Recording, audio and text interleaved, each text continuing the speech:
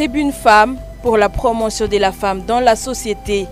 En marge de la Journée mondiale du travail, célébrée chaque 1er mai, Moto TV, votre chaîne de télévision, à travers son émission Tribune Femme, organise une cérémonie de remise des prix à des femmes qui se sont distinguées dans leurs prestations au travail pour les encourager et honorer par là même la femme travailleuse. Cette activité se tiendra dans la grande salle de l'hôtel Boutembo lundi 1er mai de 12h à 17h. Vive la femme travailleuse